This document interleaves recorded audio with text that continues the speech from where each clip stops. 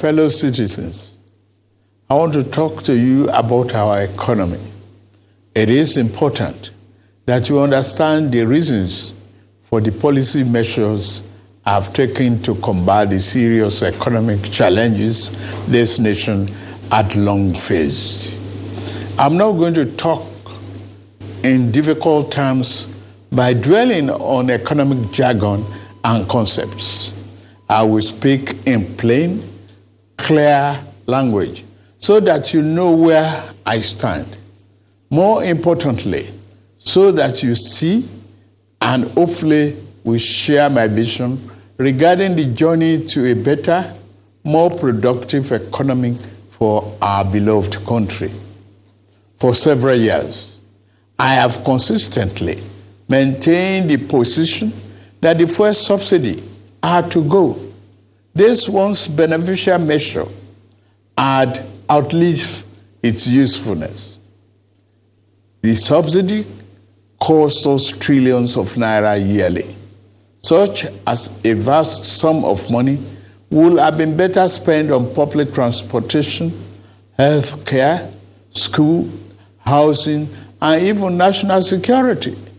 Instead, it was being funneled into the deep pocket and lavish bank account of a selected group of individuals.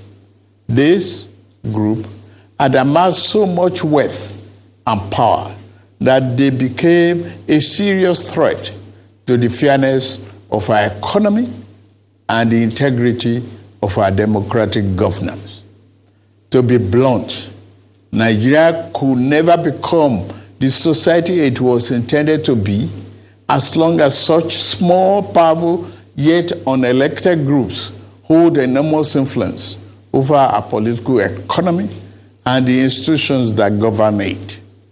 The whims of the few should never hold dominant sway over the hopes and aspirations of the many. If we are to be a democracy, the people and not the power of money must be sovereign. The preceding administration saw this looming danger as well. Indeed, it made no provision in the 2023 appropriation for subsidy after June this year. Removal of this once helpful device that had transformed into a millstone around the country's neck had become inevitable. Also, the multiple exchange rate, the system that had been established, be- became nothing but a highway of currency speculation. It diverted money that should have been used to create jobs, build factories, and businesses for millions of people. Our national wealth was doled out on favorable terms to a handful of people who had been made filthy rich simply by moving money from one hand to another. This too was extremely unfair and is not acceptable.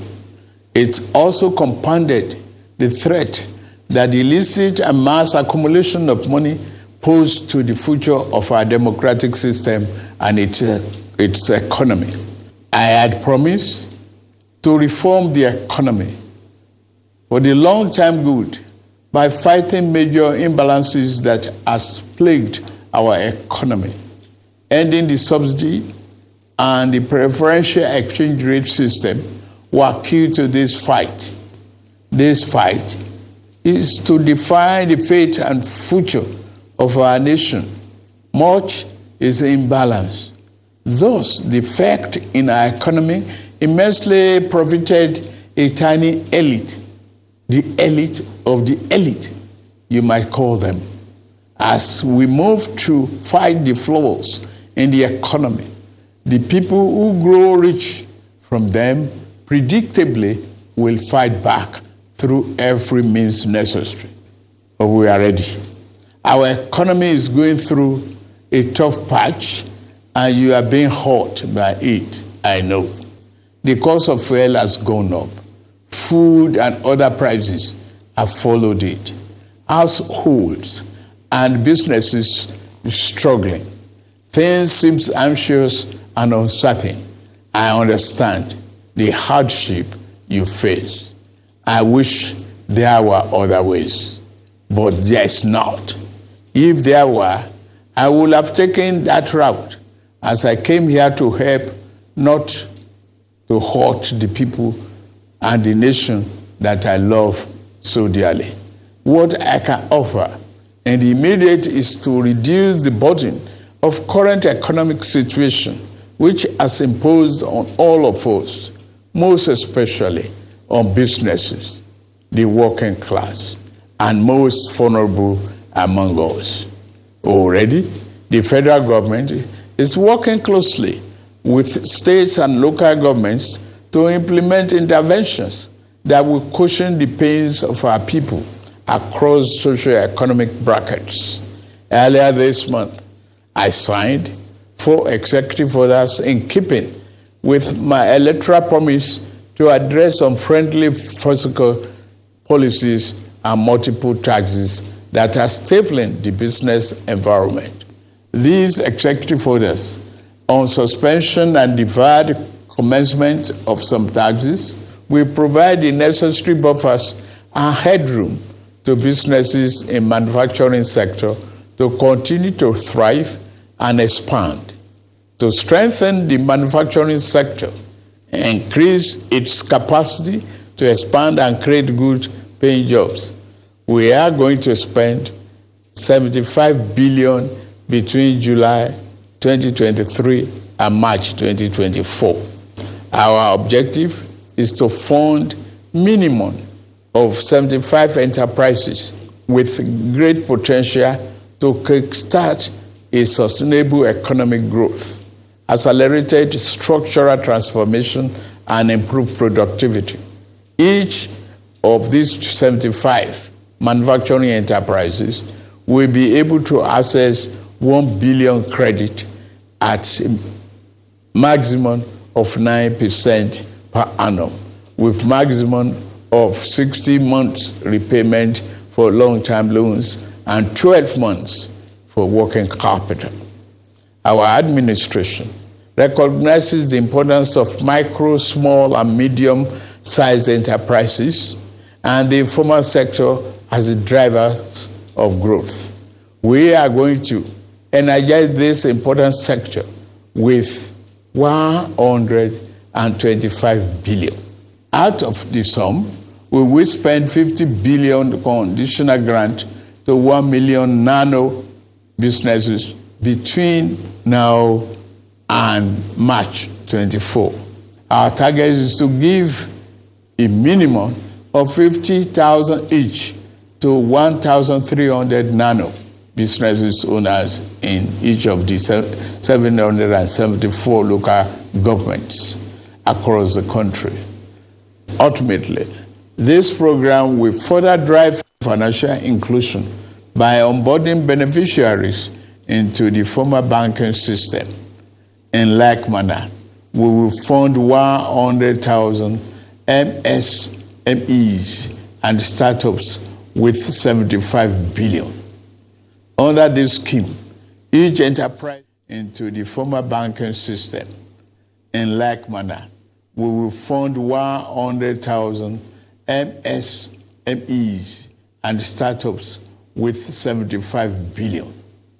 Under this scheme, each enterprise promoter will be able to get between 500,000 and 1 million at the maximum 9% interest per annum and repayment period of 36 months. To further ensure that food prices and the items remain affordable, we have had a multi-stakeholder engagement with various farmers and associations and the operators within the agricultural value chain. In short and in immediate terms, we will ensure stable food are available and affordable. To this end, I have ordered release of 200,000 metric tons of grains from strategic reserves to households across the 36 states and FCT. to moderate prices. We are also providing 225,000 metric tons of fertilizer, seeding, and other inputs to farmers who are committed to our food security agenda. Our plan to support cultivation of 500,000 hectares of farmland and all year-round farming practice remain on course. To be specific, 200 billion out of the 500 billion approved by the National Assembly will be disbursed as follows. Our administration will invest 50 billion each to cultivate 150,000 hectares of rice and maize. 50 billion each will also be earmarked to cultivate 100,000 hectares of wheat and cassava. This expansive agricultural program will be implemented targeting small farm holders and leveraging large-scale private sector players in the agri business with strong performance record. In this regard, the expertise of developed financial institutions, commercial banks, and microfinance banks will be tapped to develop a viable and appropriate transaction structure for all stakeholders. Fellow Nigerians, I made a solemn pledge to work for you how to improve your welfare and living condition is of paramount importance to me, and it is the only thing that keeps me up day and night. It is in the light of this that I approved the infrastructure support for the states. This new infrastructure fund will enable states to intervene, to invest and reinvest in critical areas and bring relief to many of the pain points, as well as revamp our decaying healthcare and educational infrastructure. The fund will also bring improvement to rural access roads to ease evacuation of farm produce to markets. With the fund, our state will become more competitive and on a stronger financial footing to deliver economic prosperity to Nigerians. Part of our program is to roll out buses across state and local government for mass transit at a much more affordable rate. We have made provision to invest 100 billion between now and March 2024 to acquire minimum of 3,000 units of 20-seater CNG fuel buses. These buses will be shared to major transportation companies in the state using the intensity of travel per capita. Participating transport companies will be able to access credit under the facility at a maximum per annum 9% interest rate with 60 months repayment period. And this, in the same vein, we are also working in a collaboration with the labor unions to introduce a new national minimum, minimum wage for workers. I want to tell you, our workers, that this, your salary review is coming. Once we agree on the min minimum wage and general upward review, we will make budget provision for it for immediate implementation.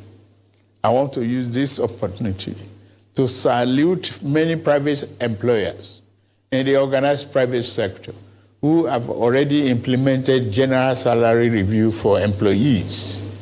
Fellow Nigerians, this period may be hard on us, and there is no doubt that it's tough on us. But I urge you all to look beyond the present temporary pains and aim at the larger picture. All our good and helpful plans are in the works. More importantly, I know that they will work. Sadly, there was an unavoidable lag between subsidy removal and these plans coming fully online. However, we are swiftly closing the time gap. I plead with you, please have faith in our ability to deliver and in our concern for your well-being. We will get out of this turbulence and due to the measures we have taken, Nigeria will be better equipped and able to take advantage of the future that awaits her. And in a little over two months, we have saved over a trillion naira that would have been squandered on the unproductive fuel subsidy, which only benefited smugglers and fraudsters. That money will now be used more directly and more beneficially for you and your families. For example, we shall fulfill our promise to make education more affordable to all and provide loans to higher education students who may need them. No Nigerian student will have to abandon higher education because of lack of money. Our commitment is to promote the greatest good for the greatest number of our people. On principle, we shall never falter. We are also monitoring the effect of exchange rate and inflation on gasoline prices. If and when necessary, we will intervene. I assure you, my fellow countrymen and women, that we are exiting the darkness to enter a new and glorious dawn. Now, I must get back to work in order to make this vision come true. Thank you all for listening, and may God bless Federal Republic of Nigeria.